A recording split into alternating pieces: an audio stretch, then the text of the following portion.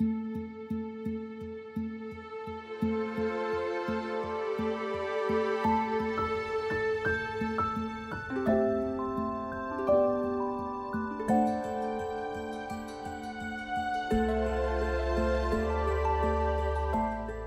chào, tôi là Phạm Hương, Hoa hậu Hoàn vũ Việt Nam 2015.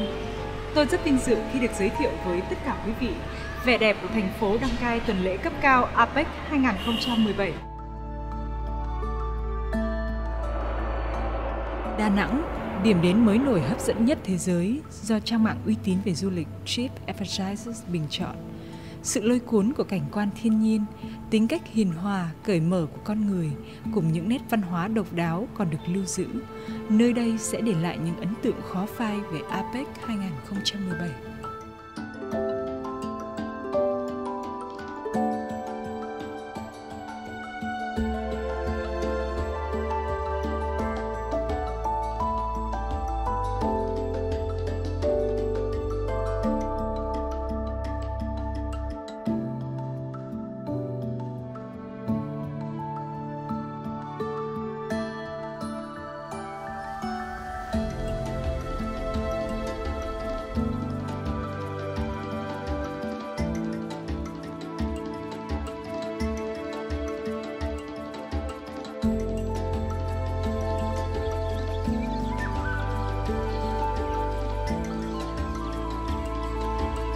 Cung đường tuyệt đẹp này cùng với những phong cảnh bên biển và bên núi chắc chắn sẽ cho chúng ta một cảm giác rất là thú vị. Đây cũng chính là nơi mà tất cả các bạn có thể dễ dàng nhìn ngắm loài vọc trà vá chân nâu, loài vật được mệnh danh là nữ hoàng linh trưởng của bán đảo Sơn Trà.